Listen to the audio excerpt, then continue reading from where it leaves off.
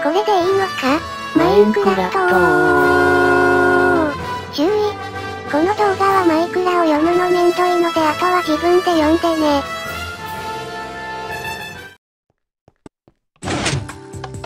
今日は船で別の島に行ってみよう。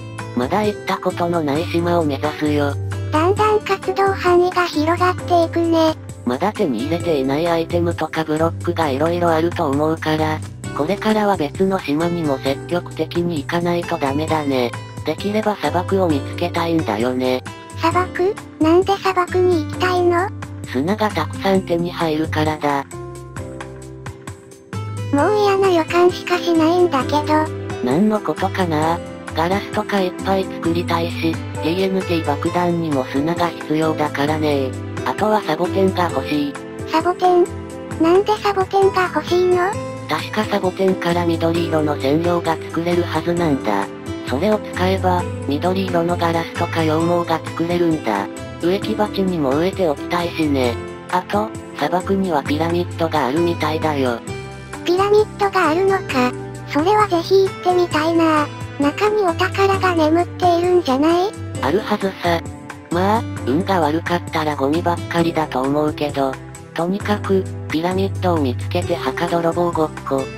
いや、遺跡発掘調査をしたいもんだ。何回輪が空中に浮かんでる。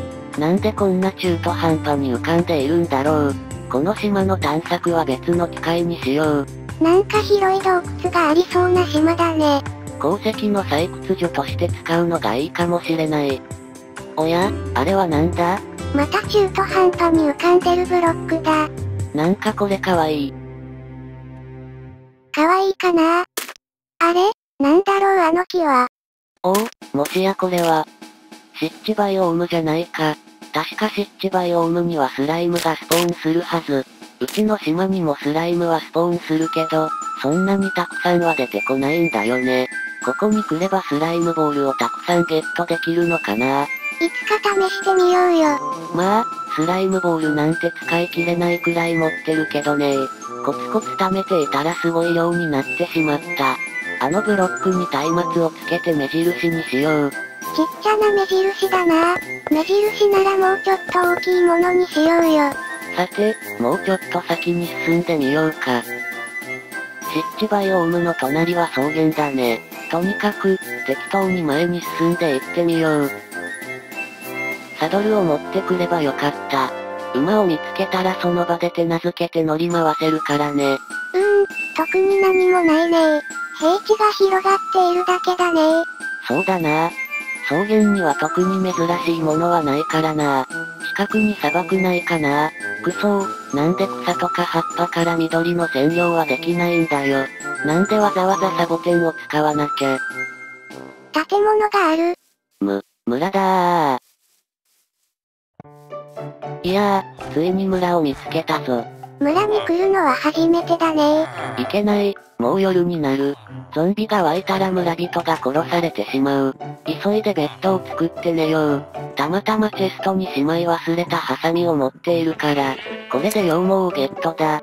よし、羊毛3個手に入れた。ベッドを作って寝るぞ。本棚がいっぱいある漫画喫茶みたいなとこに作業台が置いてあった。今夜はここに泊まることにしよう。漫画喫茶に寝泊まりするのか。おはよう。朝ごはんはラーメンとステーキどっちがいい？私は朝からそんなヘビーなもの食べないよ。ゾンビが入ってこれないように、柵をつけていかないとね。まったく、なんでゾンビが天敵なのに、こうも無防備というか、ゾンビ対策が何もなされていないのだろう。これじゃあゾンビが村に入り放題じゃないか。防犯意識がまるでないよね。これは、ダークオーク？初めて見た。後でもらっていこう。色が濃い木だね。ダークオークの木材でドアを作ると、かっこいいドアが作れるんだ。ラブホテルで使おう。フェンスを作ると木材がすぐになくなってしまう。何度も木を切りに行かないといけないから、結構重労働だ。めんどくさいねフェンスの設置が完了したぞ。これでゾンビは外からは入ってこれないはずだ。これで安心かな？まだ安心はできないぞ。なぜなら湧き潰しが全然できてないからだ。あ、そうか。外からは入ってこないけど、村の中でゾンビが湧いちゃうのか。そういうこと。ということで、今度は村の隅から隅まで松明を置きまくらないといけない。本当にこの村はゾンビ対策が全くなされていないな松明の設置もこれまた重労働だ。村長さんから感謝状とか表彰状とかもらってもいいくらいだ。大体設置は完了したと思う。っていやいや、見逃していた。屋根の上が全く湧き潰しできていない。これじゃ家にゾンビが湧いちゃうじゃないか。村人さんたち、せめて A くらいはちゃんとゾンビ対策しないとダメだよ。ちょっと高いとこから村を見渡してみよう。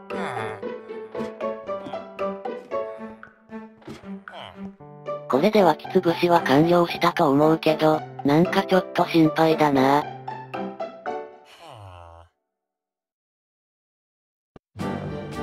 久しぶりにこの村に戻ってきた。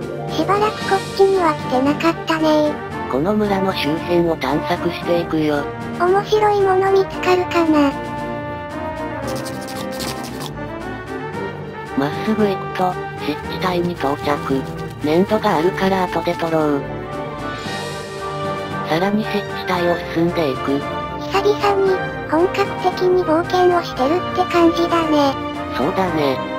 普段はあの狭い島で穴ばっかり掘ってるからなおや、向こうに見えるのは、砂がいっぱいある。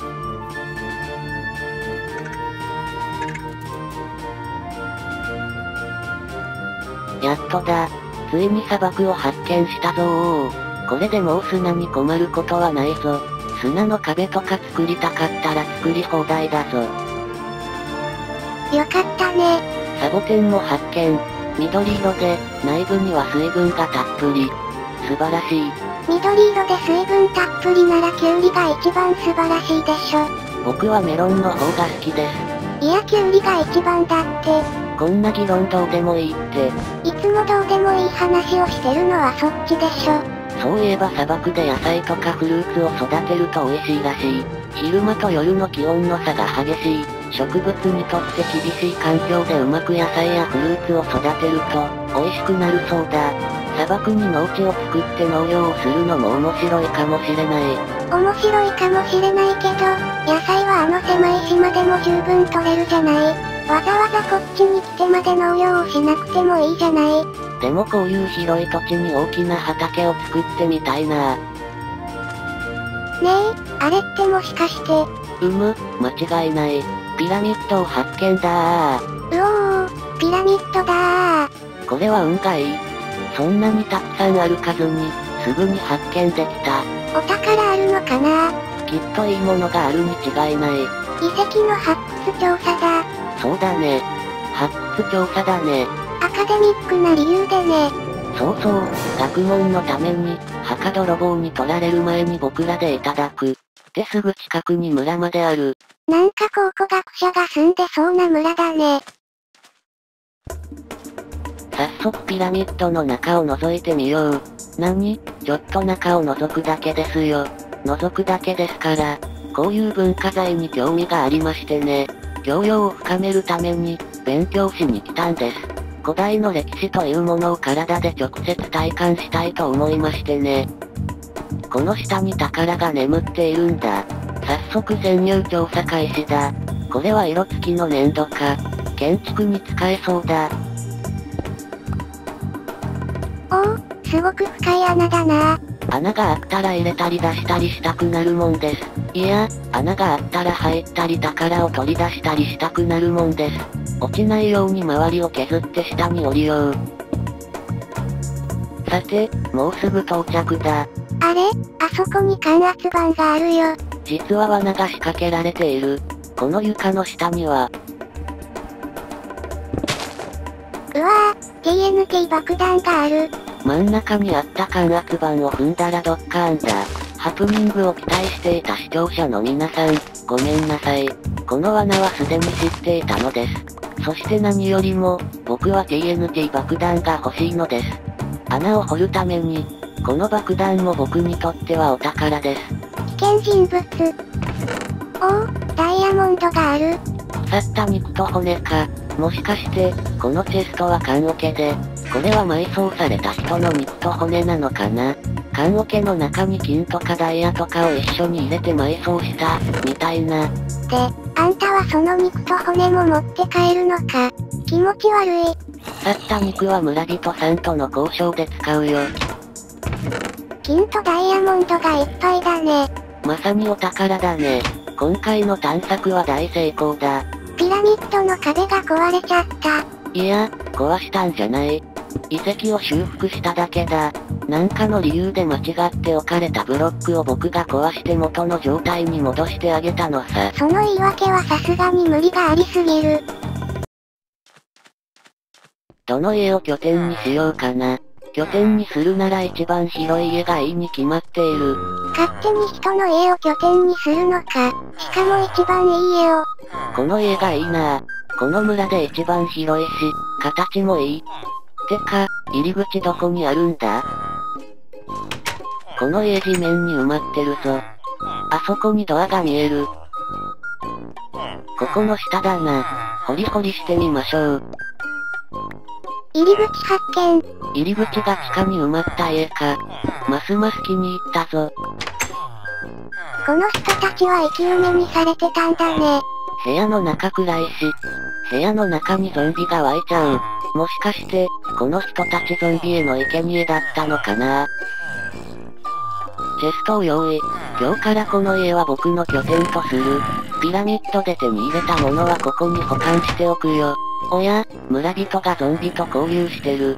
そこにいちゃ危ないよ。は？ぁ、じゃないよ。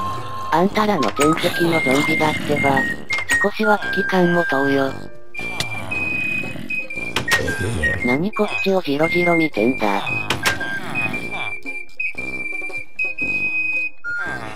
これは失礼、入浴中でしたか。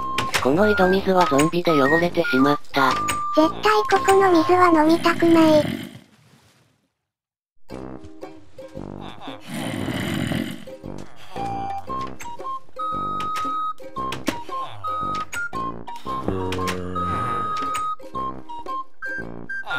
ようなら。砂がいっぱい集まったから、一度家に帰りますかね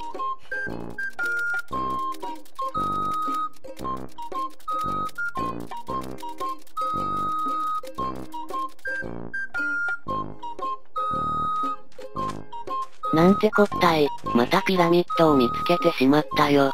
そんなに距離は離れてないのにね。なんだこのサトウキビは、普通のよりもでかい気がする。うん、高さが4ブロックある。こんなサトウキビもあるんだねサトウキビよりもピラミッドの方が重要だよ。中に入ってみようよ。いや、今回はやめておこう。これはまた今度のお楽しみにしようじゃないか。今持ち物がいっぱいだから、今日は手をつけずに家に帰ろう。デバッグモードで画像を記録します。デバッグモードはあまり使わないようにすると言いましたが、許してください。結構歩き回ってやっと見つけたピラミッドなんです。方向音痴の僕はまたここに戻ってこれるかわからない。今回は座標を記録しておきます。それじゃあ、家に帰ろう。今回の探索も盛りだくさんだった。そうだね。村も見つかるし、ピラミッドを2つも見つけたもんね。か、海底神殿。ちょっと待て。こんな時に海底神殿2つ目発見とは、なんてこったい。ピラミッドのすぐ近くに海底神殿があるとは、こりゃあ驚きだね。た、松明の光？あれ？そんなはずは。もう戻ってきちゃった。えーとね、僕、すごく歩き回ったんです。いっぱいいっぱい歩き回って、ようやく砂漠とピラミッドを発見したんです。でも、今気づいちゃいました。直線距離で、自宅からめっちゃくちゃ近いところにピラミッドがある。それを、すごー遠回りして発見したということになります。もう、なんなんだよ